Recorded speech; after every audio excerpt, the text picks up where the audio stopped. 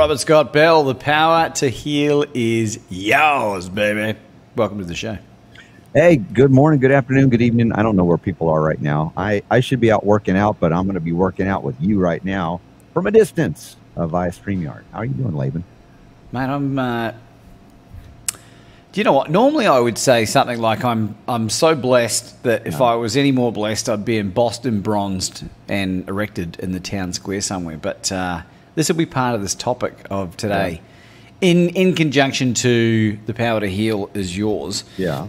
But the real answer is, I'm a bit pissed off. Yeah, I'm a because you're, bit not- pi- 'cause you're not here with me hanging out. That is the primary. that is the primary reason, and we're not there for your beautiful bride's birthday. Big shout out to Exactly. I'm pissed Nancy too. and that we're not there to cook you dinner. But uh, as part of the, there's this conversation piece, because this, this series is a separate series to the main podcast series, and this has been like a commitment to go live for, uh, every day, every weekday at least for the next 30 days. And I've been really enjoying, I've been doing some solo monologuing stuff, which is no, I know what you, you love to do as well, Rob. And uh, we've got some other guests coming on later in the week and weeks after. But the the reason the reason for such a non excited response would be I've been let down by a number of people, Oh. and uh, and financially, and uh, some some not financially, but mainly financially. I got myself in a bit of a situation, and and I'm pissed. I don't know whether I'm pissed at myself Sure. or I'm pissed at myself and some of them for allowing this to happen. And I and I wanted to explore this with you. And kind of my point was, I can kind of see why some people go down the path of getting jack of it all and start ripping people off. Hmm. I can see I can see how that might happen, and I was like, "Holy God!" Like I'm, I'm going to the dark side here, and I was curious to know before we even get into the rest of the stuff today. What are you What are your thoughts on how to manage this kind of scenario, being let down by people repeatedly? Well, I think we're working with a, a, a system that almost encourages and rewards that kind of behavior. You know, if you think about the, the monetary system and we talk about uh, money, utilizing it, getting it, borrowing it, giving it, taking it, the entire system is rigged against honesty and integrity because the, the monetary system is, is based on deception and lies, at least the one we're using globally right now. Uh, we talk about in the United States of America something called the Federal Reserve System and it's money that has no, no true backing. It, it, it doesn't represent anything other than the, what they talk about on the thing full faith and credit, that kind of concept. And of course, the faith is not in God, although you'll see in God we trust on some of the coins. And I, I, I just ironically point out that because there's nothing in the money. So you better put your faith in God. But at the same time, uh, when you're working with a, a deceptive system, the banking system, uh, it kind of lends itself to, hey, how do people really profit in the system? They have to cheat and lie and steal to get ahead to stay ahead to keep ahead because every time they utilize that money it's worth less and less and less. So they feel like it can never get ahead. And those that do are usually connected to somebody or something like in government uh, and they get to touch the money first when it has some value. And then as it you know kind of sits out there and, and, and diminishes it's like oh my gosh I, i'm losing i'm losing. So you always got to work to get ahead. So the system encourages cheating because the system itself cheats people out of the the value that they think they're working for, earning, or holding on to. And I know this is a weird because it's not specific to the individuals that are cheating you or di- disappointing you, but the, the entire system is set up to never allow you to fully get ahead unless you're in the club, as George Carlin said. It's a big club and you ain't in it. And you don't want to be in it either because it's actually filled with misery.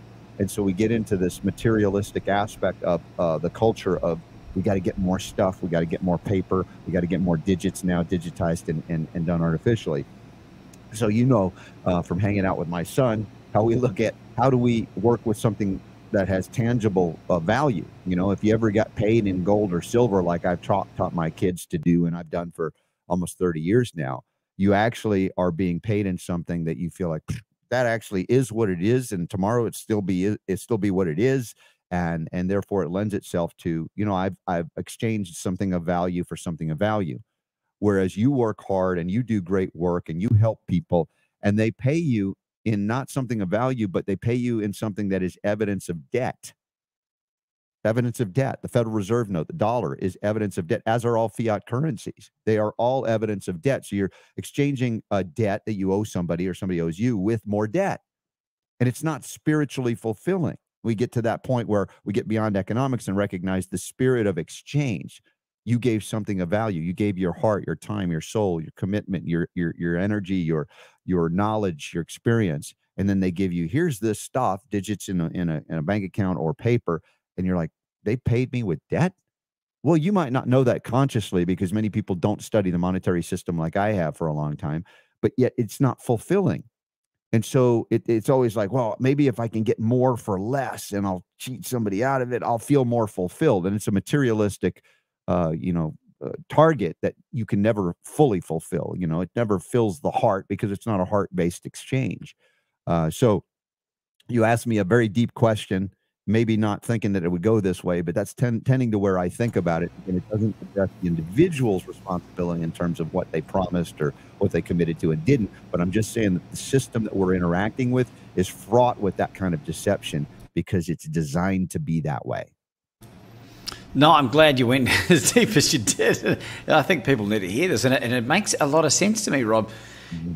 Uh, if people if people are feeling ripped off, you know, even if it's subconsciously, then they are way more likely to rip, try and rip other people off. Maybe that's the energy that's being created with this whole, you know, system that you're talking about. How, how do you mitigate this? Yeah, well, I remember, uh, uh, was it a, a paperweight on the on the uh, desk of Ron Paul years ago, and and it was it's very telling. Um, it said, "Don't steal, the government hates competition.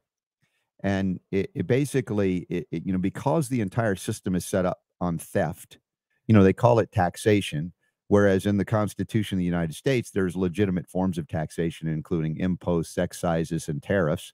Uh, at the time of um, the progressive era, from the late uh, 19th century through the 20th century, there was an emergence of something called Marxism, and the Communist Manifesto, which included one of the key planks, a graduated income tax, uh, which basically said, we own 100% of your efforts and we get to tell you how much you get to keep, which is the reverse of what people think. Well, I paid X percent. It's like, no, no, no.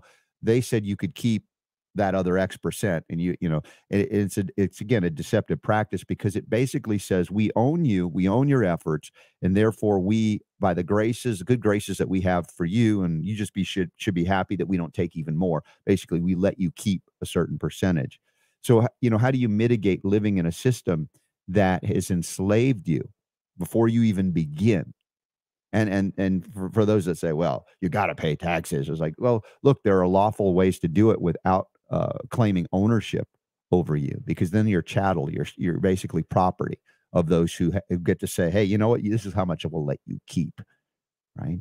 And and so how do we mitigate that? We've got to go back into the i guess a very conscious uh, investigation into how is it that we can interact with the world economically and recognize it is an energetic exchange it is a spiritual uh, interaction ultimately. And these things are representative of that, you know, and then we're utilizing something that is so devoid of spirit and value that we think we're doing and we're engaged in, you know, lawful and righteous activity of, you know, means of exchange economically. But the, once again, I come back to the, uh, entirety of whatever the field is surrounded by an electrified fence that they try to constrain you and contain you in and you're like you're never fulfilled in that and and so i've you know just trying to encourage people to say you know what is it that you have a value that uh, you know you are giving to the world and you want to be able to give and also be compensated for it and then what form of compensation is actually honoring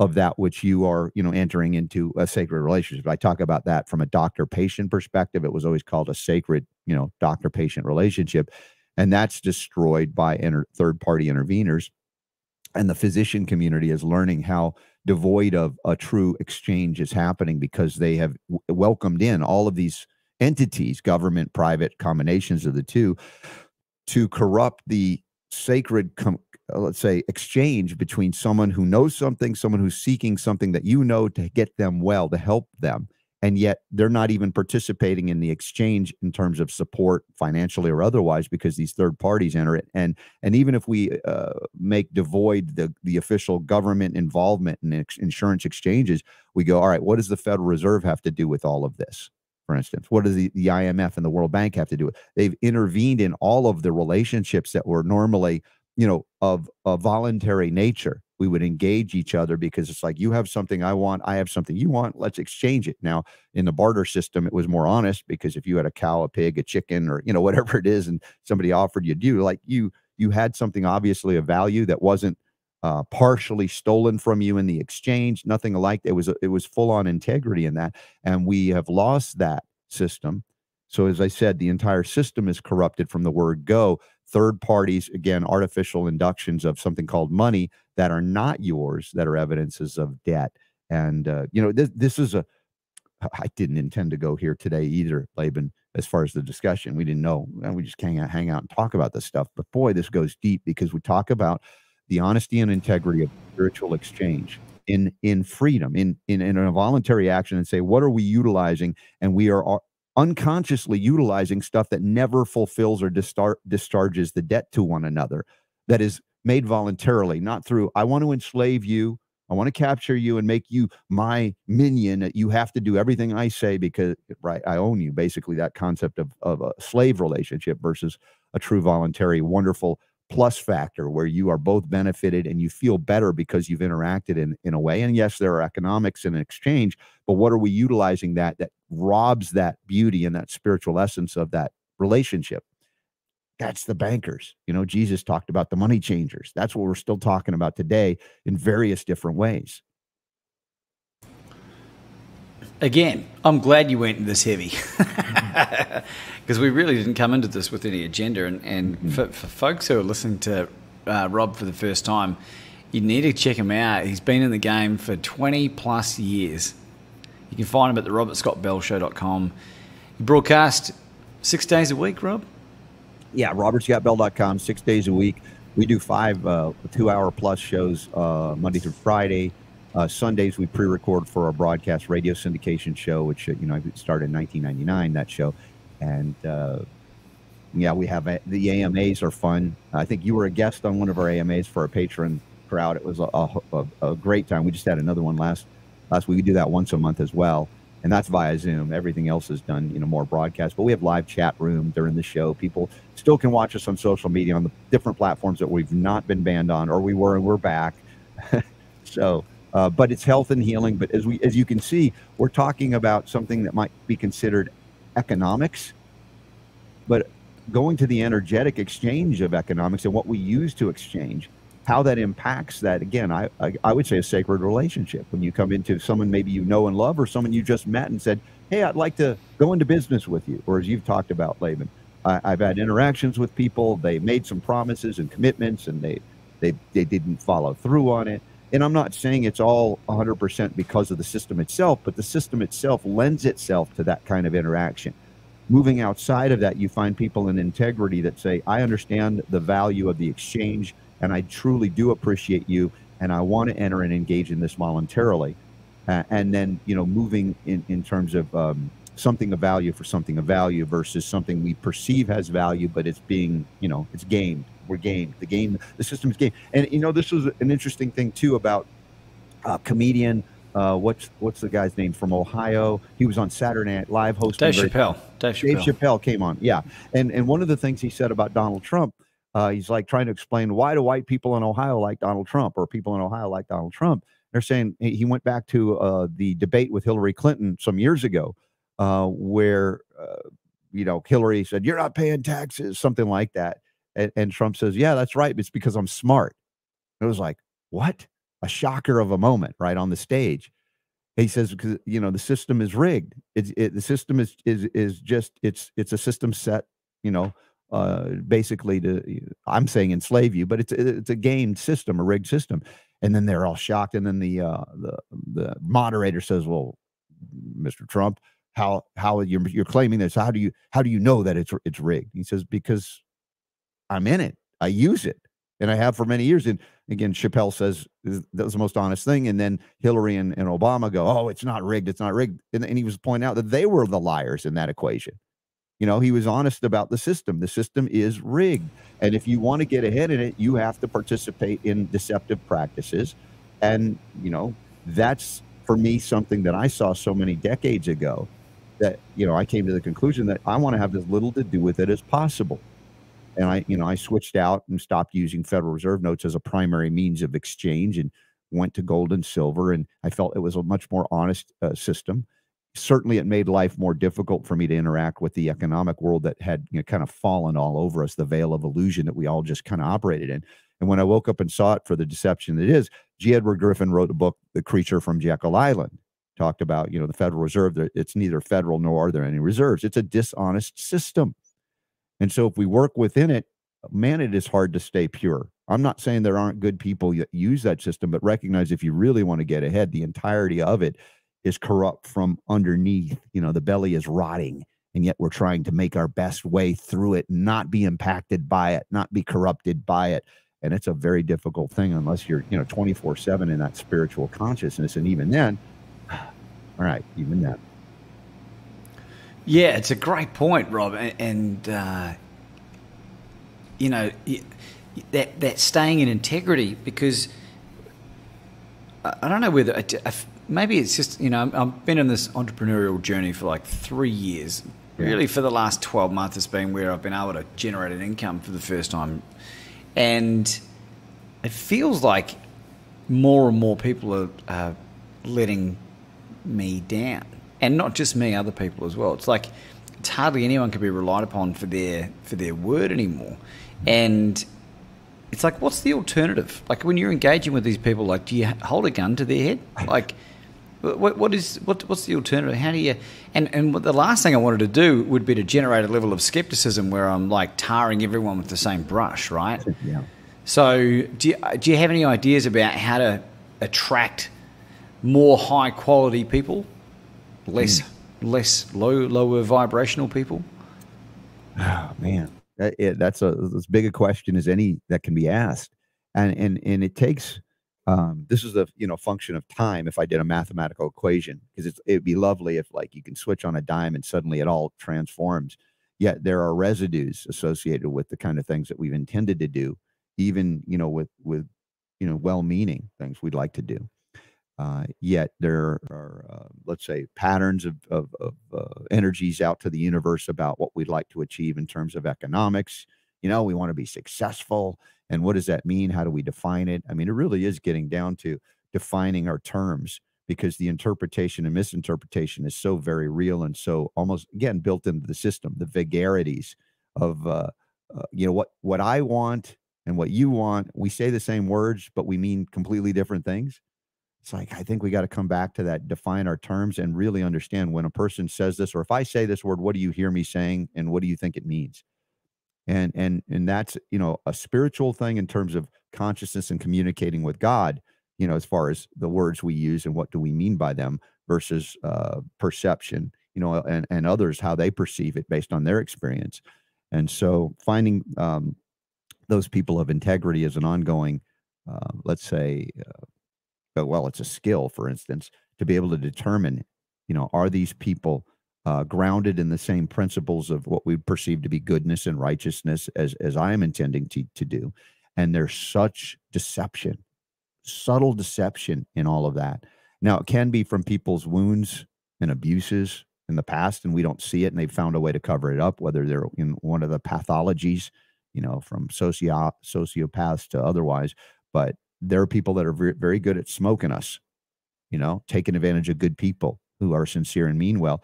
And that to some degree is a naivete on our part. Some degree it's a we want to be able to trust people because we look to the people and we see the goodness in them. And and I'd rather be there and and be ripped off occasionally than just look cynically at everybody that they're automatically trying to rip me off. But I recognize I have to protect myself and my family in those interactions as well, in those relationships. So for me, it's a spiritual practice.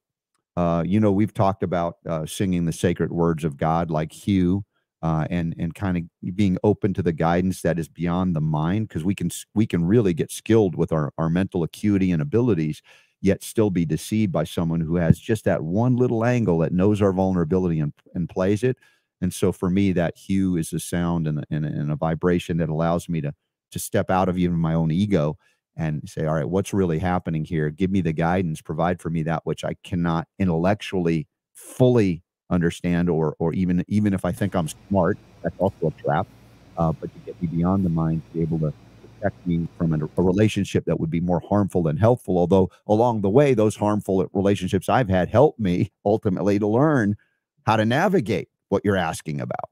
So it's an ongoing journey. And I don't know, as long as we're here, there'll always be a potential to deceive or be deceived. The question is, are we committed to our spiritual practices and the relationship with that which is beyond the mind to be able to navigate and not fall prey to those deceptions that are very subtle, uh, even if we're skilled and experienced?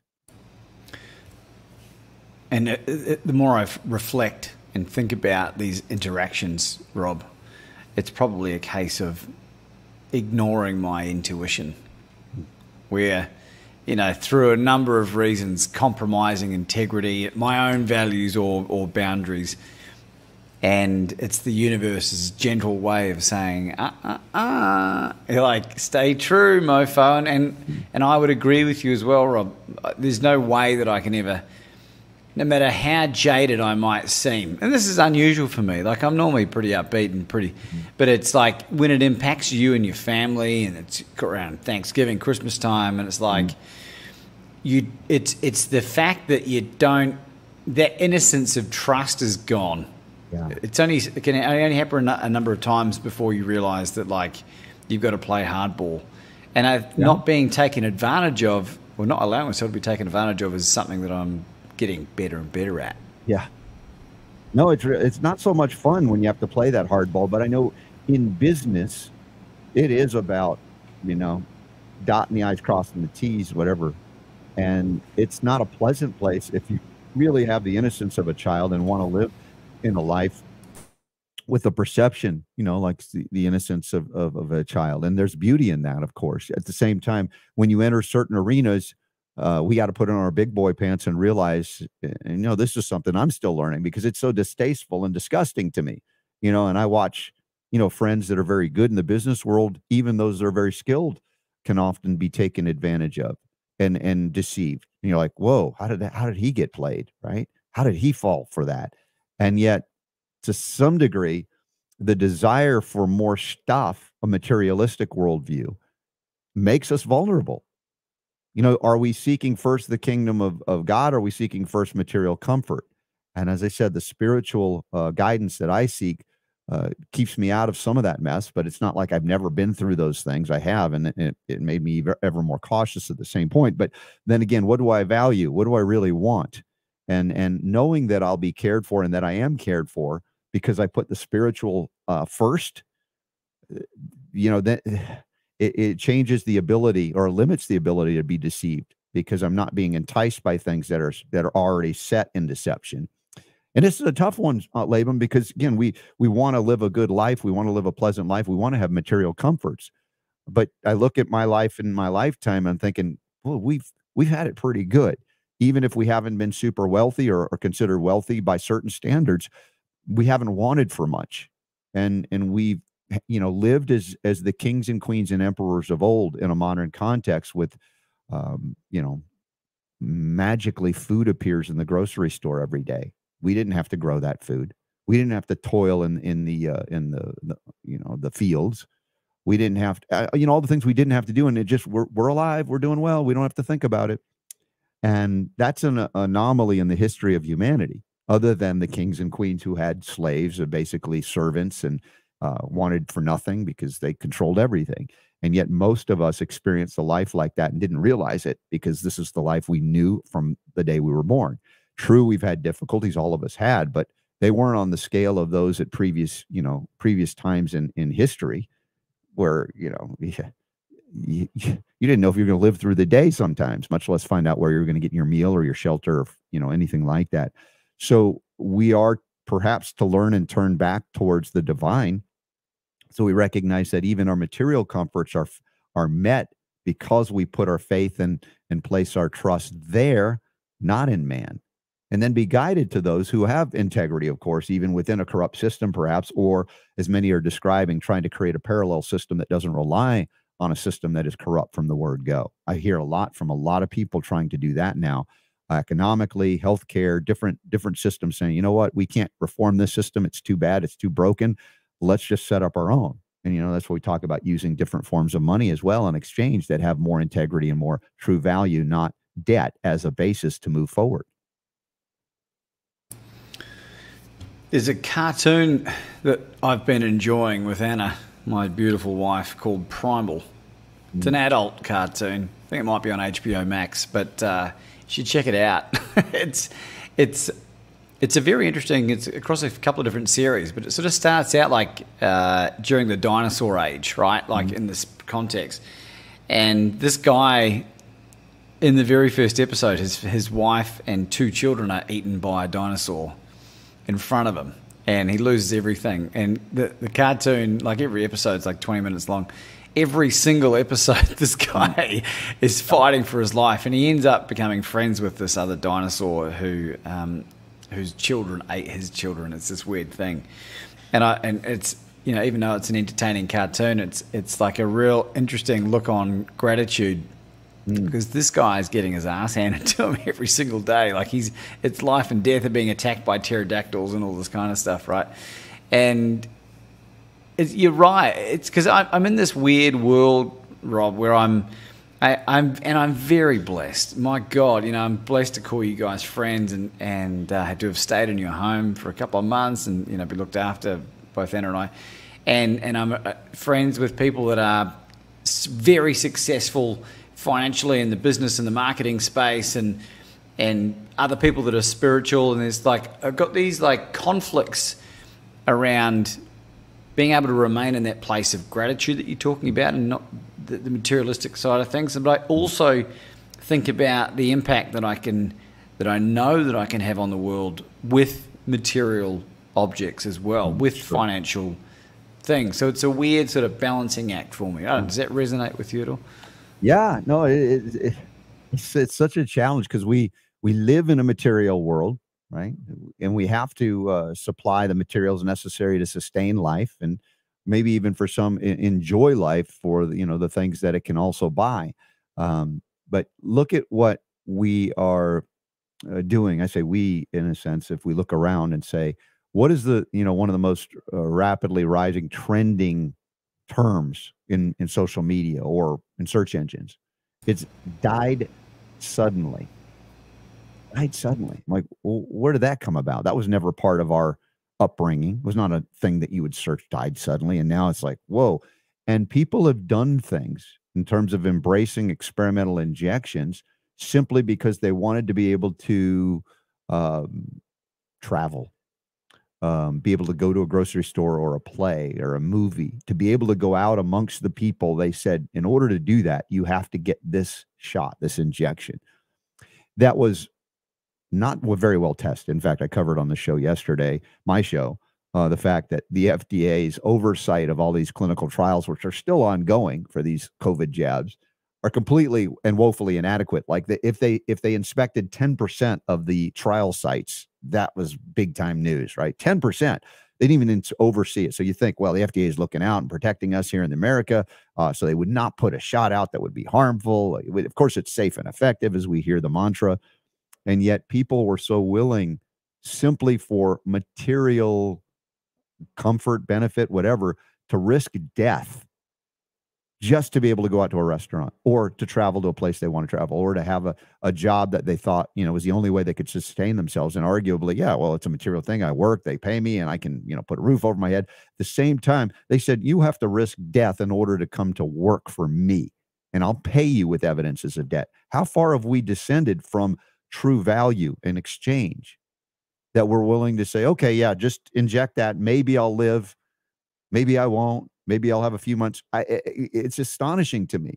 Uh, but this is part of my journey and trying to, you know, talk about utilizing my voice to awaken people if they're ready for it, to recognize the system is so corrupt that they'd be willing to say, in order for you to participate in the system, you have to risk death by an injection that we say you must have. And many people want, well, sure, I'll take the shot just so I can keep doing what I enjoy doing.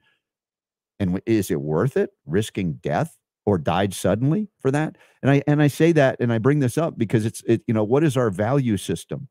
Not only do we have a system of government and medicine and media and corporate uh, corporatocracy saying in order to work you have to take an experimental injection that can alter your DNA protein synthesis forever. Maybe you won't live. Um, but people are going, oh yeah, yeah, that system is so worth it. I'll, I'll risk that. Like, dude, we have strayed far from what's really important and what really guides us and really helps us sustain life in order for the chasing of material goods and comforts. Uh, so it's a challenging time to see this and witness this, and it's saddening too and maddening at the same time. It's designed to wake us up to say, what is our, what really is important? What do we really value? And would we require somebody to take an experimental uh, injection or play a game of proverbial Russian roulette in order to participate, you know, in terms of interacting with you or me? I mean, we would never do that. That's horrible. And it's become an accepted practice. And in other words, to rebel against it, there are still people that are upset with me speaking out against that system. How dare you? It's like, wow, we, we got a value system that's pretty messed up. And we got to navigate that to find people interact with economically. And there's the the other moral dilemma of like, mm-hmm. you know, because you've been you've put your voice out there for a long time, Rob. You've been on the receiving end of lots of uh, vitriol and being you know taken off YouTube and Spotify and big big places where you could have an impact. It's like I think about these things. This is the shadow side that we might have spoken about previously. Mm-hmm. It's like I get you get to the point where you get so dejected from trying to operate from a place of service, you get slapped in the face, and it's just like, you know what? Um, I'm just going to let you die. I'm just going to let you find out the hard way, or I'm going to let you suffer immeasurably because you don't want the help. Yeah. How how do you how do you handle the the dark side? Mm-hmm. Well, God loves me enough to allow me to screw up, to learn the things I need to learn to come back to Him. That's my perception of it. And so I can look back and, and curse the abandonment that I felt or, you know, the ailments and illnesses I suffered for the first 19 years of my life before I said, no, no more. I'm not going to subject myself to poison. You know, that doctor say, we can, I'm a doctor. I have a license and a degree and I can poison you back to health. Like at one point you wake up and go, well, that's the stupidest thing I ever heard. Why would I want to do that? And you don't know because the system has been so set up as it is. We grow up in it. We don't think about it. This is just the way it is until it becomes so uncomfortable that you decide to choose a different path. And that's the the beauty and the love that uh, God has for us to allow us to make these horrible choices, resulting in untold suffering. At the same time, you know, we have compassion. You have compassion, and you want to help people. But can you help? And w- is it a good idea to help people that don't want your help? As you pointed out, well, I'll just let you suffer. It's like that. You could say it. No, I'm vindictive and angry that you, you should suffer. Versus, look, this is a choice you've made. And I have to love you uh, uh, enough to allow you to go through it so you can come back in full consciousness of you know the consequences of the decisions you made this is the experience you had so that you're indelibly changed for the better forever whereas if i take away your suffering before you're ready what have you learned much like when i prayed to god for even a lightning bolt from the sky to heal me after 19 years of chronic disease and I, if i had gotten that quote unquote gift i was requesting I would learn nothing. I could tell people, you know, if I had a show, it wouldn't succeed more than a day because then I'd say, pray for lightning. Maybe you'll get struck and you'll be healed miraculously. As opposed to what happened was I was allowed to suffer even more and learn uh, spiritual lessons, deep, deep spiritual communication uh, lessons so that some years later, when I encountered a homeopathic doctor, I wouldn't reject him outright because it, it didn't fit the definition of everything I grew up with and was programmed to believe before that, right? Homeopathy, that's quackery. That's nonsense. That's not real. On and on it goes because we've been programmed by so many forces that want us to remain enslaved and uh, controlled by those who profit from our fear and our disease, etc. And so, waking up when I did, I still had to process and get grounded in the communication we talk about, learning of the HU and other things that I did, so that when I was uh, given the gift for the next step of my journey, to learn the healing I truly desired since I was a toddler or before, uh, but in a different way than I expected it, then I would uh, be able to be willing to go through all the hard work and hardship 10 plus years of intense training.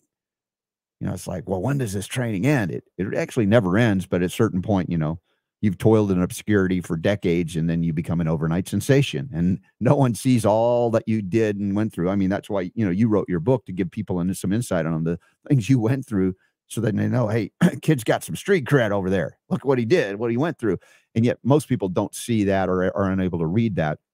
But as we're going through it, we'll often ask, well, when when when can I finally reap the rewards? And yet the rewards are being reaped the moment you recognize that the, the suffering, the traumas that you've been through are gifts in real time. And when you're going through them, you recognize it and you're grateful for it. You're closing the loop, that karmic loop from a distance of I'm a victim. I have no idea the cause and effect relationship to I see it now. Or even if I don't see it in the moment, I recognize I've been through this so many times that this is happening for me and not to me that you're just looking for you know maybe understanding the causal relationship to the gift that you it's not a pleasant gift but you're saying why is this happening and i'm not cursing god because it's happening i'm thinking thank you god because this is clearly something that is opening me up to more of your love for instance more of your guidance and more of the you know the things that i'm here that i've committed to before i got here to do while i was here and at any point we have the freedom to make a choice to say, you know what, that thing I said I was going to, I don't want to do that. And of course, then enjoy the consequences or, or be miserable in the consequences of that choice as well. But all of those things are gifts that we learn here better than anywhere else in the planets and the universes of God or creation. And then you begin to be grateful for even those, you know, those moments of, like you said, Laban, man, I don't want to be cynical about everybody that I'm interacting with, but uh, they're not, you know, rising to the occasion. Then we question, well, what is our you know prime motivator what is what is it what is causing me to interact with these folks and it's a gift every one of these cursed events to get to that next step to that next level that you super you know you you go beyond it at the same time we're here still interacting with it but and i know you laban you you know you want to be that living example for what you believe and what you've learned and yet you're being thrown as we all are some would say obstacles, and then some say, well, you know, these are not obstacles; these are technically stepping stones to where I've said to God, I want to go. And all of these things are happening for me so that I can get there. And we think, well, that time frame is wrong. It should be now. and it's like I've I'm old enough to know it. You know, it's not in my time, God's time. But you know, I will continue to work and commit. You know, to what I've I've, I've said it's my desire, and uh, I don't know what the time frame is. That's why, you know, people that predict things, even the collapse of the economics and the society that we're all in, it's like, I think we're in the middle of it. But at the same time, it's like, how is it even possible it exists one more day? Well, the power of belief is so, so amazingly powerful that our collective beliefs added to one and, uh, and, and our belief in a system that even if we don't like it, it's still everybody's believing in it. It, it, it, it has a power to sustain itself even in its artifice. And we're witnessing that until more people go no i don't want to participate. I don't want to participate and suddenly then it collapses of its own weight. And then you know where are you in a system that you've invested in that you know is so corrupt? It's like i've succeeded in that and then that's gone too. So the illusion was there and and i'm trying to say we can see this we've been through this probably many times before but for whatever reason we need to experience it again to mark it indelibly into our dna if you want to say it that way so that we create a system that really fulfills us and and doesn't fall short of that. That's again, I mean, I think about that goal and desire and the experiences I've had uh, that changed what I believed about life itself over time and the system that we're operating in. So here you got me rolling this morning. It's ridiculous. You're warming up those vocal cords for your show later on today. mm-hmm. Yeah, it's uh, it's a it's a wonderful, wonderful, powerful, poignant point, and one that I don't have the answer for, but I, you know, as you were sharing that, I realised that there was for the six incidents of being let down, right, for whatever you want to call it, there was 10x wonderful, amazing things that happened in my life. I, I you know, as someone uh, that I, I don't really know that well at all, but I, I had a, an impact on him, and he he created something and then posted a 10 minute monologue dedicating the monologue on social media, like a public acknowledgement of thanking me, right? Like, and and although that didn't translate into any monetary thing, it was like, how many people get to say that? And this isn't a this isn't a rarity. This isn't like a once in a lifetime. This shit happens all the time, right? and and I, I, need to be grateful for that, and I am grateful for that, and, and now I feel better about the whole thing as well. Mm. Um, I was conscious of not not having a super long live, um, and I, but I'm glad we've spoken about what we've spoken about. But for people that that want to find more about you and the, the amazing because you, it's not just the show that you've got as well. You're being you're heavily involved with lots of amazing events the medical health freedom, the, the Red Pill Expo, number of, what, what do you got going on at the moment that you can share with people that they can tune in? Well, we, we, I say I survived like six or seven weeks of intense uh, travel, being away from home more than I, uh, I was at home with these events you mentioned, and a number of them, including you mentioned the Red Pill Expo, which is phenomenal. If you guys ever get to go to one, the next one I think they're scheduled for early June of 2023. We don't know where yet, uh, but you can get tickets for it at the 2022 prices they told me before who knows what inflation's going to do and even if you find you can't make it because it's a city you can't get to they'll refund it but i'm just thinking of the good people that are trying to bring people together that are making change not based on fear but because they have a genuine desire to you know create the powers of co-creation they've been given something wonderful and you know i've been to so many events where people are aware of something's gone horribly awry. It's wrong. There's just something not right about it.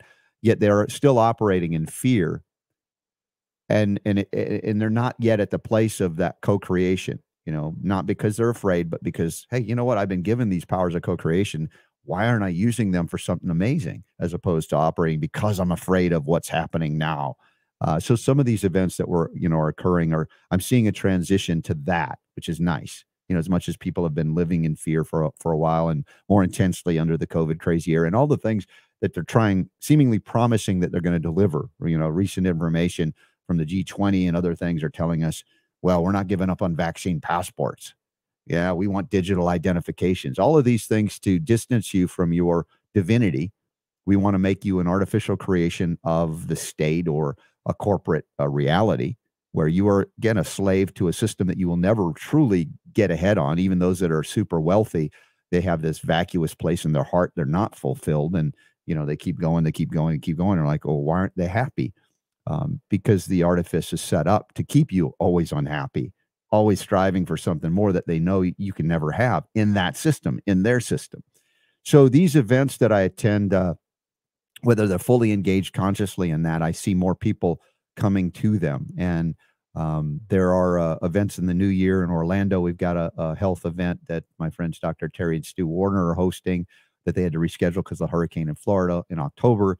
Uh, that's coming up. And um, gosh, if you just come to robertscottbell.com, there's an upcoming events tab on my website, or you can sign up for the newsletter, you know, at robertscottbell.com. Or if you have a US or Canadian number, you can text uh, my initials RSB uh, to 22828. So the number 22828, take your phone out and go 22828. I'm going to text that number, text RSB, and you'll be prompted right away to enter your email and you'll be plugged into all that we do, including the things that I utilize and recommend for health and healing that uh, I think are, well, they're not getting much play in the mainstream media other than be denigrated by those who don't want you to stop profiting, you know, big pharma and big medicine and all of that to keep you in a spiral of disease management.